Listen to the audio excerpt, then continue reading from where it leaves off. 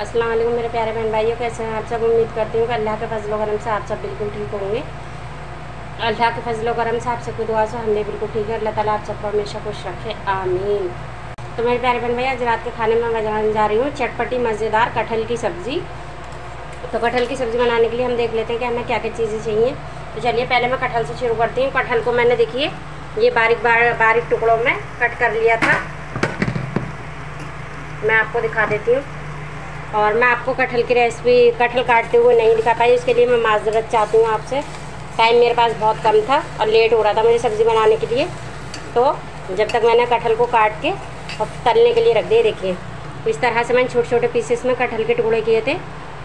और कटहल आप हमेशा पल्प वाली, गूदे वाली ही लें। इससे कटहल बहुत ही मज़े की बन के तैयार होती है।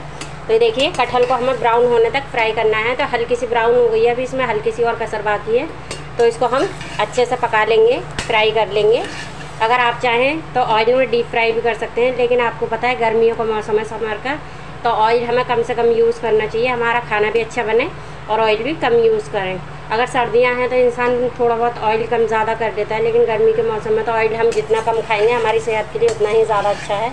तो ये मैंने इसमें, इस वाली चम्मच से दो चम्मच डाला था तो ये मैंने दो चम्मच में एक के जी ये कटहल थी तो एक किलो मैंने कटहल ली थी तो उसी में मैं ये दो चम्मच ऑयल में फ्राई कर रही हूँ। तो कटहल हमारी ब्राउन हो रही है और इधर मसालों में देख लेते हैं ये मैंने वन एंड हाफ़ चम्मच लिया है मैंने धनिया पाउडर वन स्पून लिया है मैं sorry one and half spoon लिया है मैंने धनिया पाउडर वन स्पून लिया है रेड चिली पाउडर और हल्दी जायका हमने नमक लिया है और हाफ़ स्पून लिया है हमने हल्दी पाउडर और हम्म, इसका कटहल का स्वाद बढ़ाने के लिए अगर आप चाहें तो टमाटर भी यूज़ कर सकते हैं लेकिन हम लोग कटहल में टमाटर नहीं डालते हैं। कटहल आ रहा आपको, अगर क्या कहते हैं चिकन के जैसी या मटन की जैसी टेस्टी खानी है तो उसमें आप दही का ही यूज़ करें। उससे बहुत अच्छा टेस्ट आता है दही से, कटहल में। तो ये मैंने तकरीबन 100 ग्राम दही ले ली है। नॉर्मल दही है, खट्टी वाली नहीं है। और इधर मैंने एक इंच अदरक का टुकड़ा लिया था। दो बंच मैंने प्याज के लिए थे छोटे छोटे मीडियम साइज़ के। और एक बंच मैंने लहसुन का ले लिया था, जिनका मैंने फ़ाइन पेस्ट बना लिया है। और इधर हमने अपने स्वाद, क्या कहते हैं, स्वाद के लिए और खुशबू के लिए। हम हमेशा आपको पता है कि मैं किसी भी रेसिपी में धनिए को स्क्रिप्ट नहीं करती हूँ। अगर आप लोग नहीं पसंद करते हैं तो नहीं भी डाल सकते हैं। लेकिन मुझे हर रेसिपी में धनिया पसंद है तो इसलिए मैं धनिया का यूज़ ज़्यादा करती हूँ। तो ये हमने ले लिया है एक मुट्ठी हरा धनिया। तो कटहल हमारी बस फ्राई हो ही गई है। तो चलिए इसको हम निकाल लेते हैं। तो ये देखिए, कटहल हमने अलग बॉल में ट्रांसफ़र कर लिए और इसमें मैं ऐड करती हूँ मसाले के लिए ऑयल बिस्मिल्लाह रही तो ये देखिए ऑयल हमने इसमें ऐड कर दिया है। ऑयल जैसे ही हमारा गर्म होगा तो हम इसमें ऐड करेंगे अदरक, लहसुन, प्याज का पेस्ट तो चलिए ऑयल को गर्म होने देते हैं। देखिए ऑयल हमारा गर्म हो गया। अब इसमें मैं ऐड कर दूँगी अदरक, लहसुन, प्याज का पेस्ट और इसी में मैं ऐड करूँगी सारे सूखे ड्राई मसाले। तो चलिए, सूखे ड्राई मसाले भी इसमें ऐड कर देते हैं। इसमें हम थोड़ा सा हम इसमें ऐड कर देंगे पानी, ताकि मसाले हमारे अच्छे से भुन जाए और मसाले हमारे जले नहीं। और मसाले को हमें जब तक भूनना है, जब तक मसालों का कच्चा पन्ना ख़त्म हो जाए और मसाले में से ऑयल सेपरेट ना होने लगे। तो इस मसाले को तकरीबन हम 10 मिनट तक अच्छे से भूनेंगे। तो चलिए मिलते हैं आपसे 10 मिनट के बाद। ये देखिए मेरे प्यारे बहन भाइयों, कटहल का मसाला हमारा माशाल्लाह से बहुत ही अच्छे से भून चुका है। मैं आपको चम्मच में लेकर के ये देखिए, मसाला कितने अच्छे से फट गया है हमारा और ऑयल एकदम सेपरेट हो गया है इसमें से। तो आपको बस इसी बात का खास ख्याल रखना है। दो चीज़ों का इसमें ख्याल रखना ज़रूरी है कि आपको इसमें मसाले की भुनाई अच्छी करनी है। और ये पहला स्टेप है कि मसाला अच्छे से भुना और दूसरा ये कि कटहल को भी आप अच्छे से फ्राई करें। जितना अच्छे से आप कटहल को फ्राई करेंगे, उतनी ही ज़्यादा मज़े की आपकी ये कटहल की सब्ज़ी बन करके तैयार होगी। तो चलिए, अब इसी स्टेज पर मैं इसमें ऐड कर देती हूँ ये दही।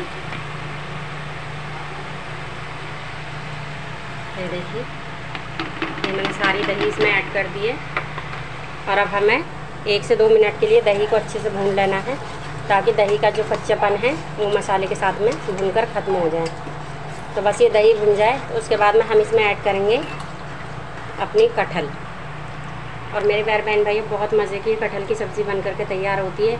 आप भी एक बार ज़रूर ट्राई कीजिएगा। इन आपकी फैमिली को बहुत ज़्यादा इस तरीके से जैसे मैंने बनाई है, इस तरह से आप स्टेप बाय स्टेप फॉलो करेंगे तो आपकी कटहल की सब्ज़ी भी बहुत ही मज़े की बन करके तैयार होगी। देखिए, दही के साथ में हमारा मसाला एकदम परफेक्ट भून करके तैयार हो गया है। अब इसमें मैं ऐड कर दूँगी अपनी ये कटहल।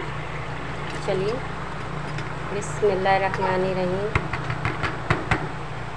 देखिए, जो इसमें, ये जो भी कटहल इसमें एक्स्ट्रा लगी हुई है, इसको हम सब निकाल लेते हैं, सब तो ये ये देखिए, प्यारे बहन भाइयों कटहल हमने ऐड कर दी है। और इसको बस हम ज़्यादा नहीं, बस एक से दो मिनट के लिए मसाले के साथ में भूनेंगे। और इसमें हम हाफ़ कप पानी डालेंगे, क्योंकि हमने कटहल को इतने अच्छे से फ्राई कर लिया था। कि कटहल हमारी इसी में ही ऑयल में ही गल गई थी। तो इसमें से हल्की सी कसर है तो वो दो सीटी में पूरी हो जाएगी। तो बस इसको एक से दो मिनट के लिए भून लेते हैं, फिर इसमें हम ऐड कर देंगे पानी। देखिए प्यारे बहन भाइयों, कटहल हमारी अच्छे से भून चुकी है। अब इसमें मैं हाफ़ कप ऐड करूँगी सिर्फ़ पानी। क्योंकि हमें इसमें सिर्फ़ दो सीटी लगानी है, दो सीटी से ज़्यादा बिल्कुल भी नहीं लगानी है हमें। तलने में ही हमारी माशाल्लाह से कटहल अच्छे से पक चुकी थी। तो देखिए, अब इसमें मैं दो सीटी लगा देती हूँ तो मिलते हैं आपसे पाँच मिनट के बाद में। तो चलिए प्यारे बहन भाई ये दो सीटी लग गई हैं और गैस हमने ऑफ़ कर दी है। तो चलिए कटहल को हम खोल करके देख लेते हैं। अम्मी बाबू को ज़रा हाथ धुला हूँ तो ये देखिए माशाल्लाह से हमारी कटहल में से बहुत ही उमदा खुशबू आ रही है। तो देखिए लग रही है ना बिल्कुल चिकन मटन जैसी हमारी कटहल की सब्ज़ी। तो देखिए कितनी मज़े की बन करके तैयार हुई है। दो सीटियों में और पानी भी, भी हमने बिल्कुल एकदम परफेक्ट सही डाला था। तो इसमें हल्का सा मॉइस्चर है तो इसको मैं खुश कर लेती हूँ। इसी स्टेज पर हम इसमें ऐड कर देंगे। हरा धनिया तो बहुत मज़े का इस कटहल का जायका हो रहा है। हल्का सा मैंने इसका मसाले का नमक चेक किया था। बिस्मिल्लाह रखवानी रही अब देखिए, धनिया डालने से कितनी अच्छी सब्ज़ी में रंगत आ जाती है। तो इसलिए हरा धनिया फ़ायदेमंद भी होता है और हमारे खाने में चार चाँद भी लग जाते हैं। तो इसलिए हमेशा हरे धनिया का हमें यूज़ करना चाहिए। ये देखिए, बस इसका मॉइस्चर खुश्क हो जाए और ऑयल इसमें से सेपरेट हो जाए। तो उसके बाद मैं आपको दिखाती हूँ इसकी प्लेटिंग करके। ये देखिए मेरे प्यारे बहन भाइयों, हमारे कटहल की फ़ाइनल लुक तो येलो कटहल बनाई है तो मैंने सोचा कि येलो ही बर्तन में मैं इसको सर्व करूँ। तो ये हमारा येलो कलर का टिफ़िन बाउल है, जिसमें मैंने इसको सर्व किया। तो देखिए कितने मज़े की हमारी कटहल की सब्ज़ी बन करके तैयार हुई है। तो आप सभी बहन भाइयों को मेरी आज की कटहल की रेसिपी कैसी लगी कमेंट बॉक्स में मुझे कमेंट करके ज़रूर बताइएगा। और आप सभी बहन भाइयों से मेरी यही गुजारिश रहती है कि मेरी वीडियो को लाइक शेयर सब्सक्राइब करें। और जो मेरे चैनल पर नए हैं, मेरे बहन भाई, वो मेरे चैनल को कर लें सब्सक्राइब और मेरे चैनल को कर लें। मेरी वीडियो को करें फुल वॉच तो आपको मेरी ये रेसिपी कैसी लगी कमेंट बॉक्स में मुझे कमेंट करके ज़रूर बताइएगा। तो मिलते हैं आपसे नेक्स्ट वीडियो में। अल्लाह हाफिज़।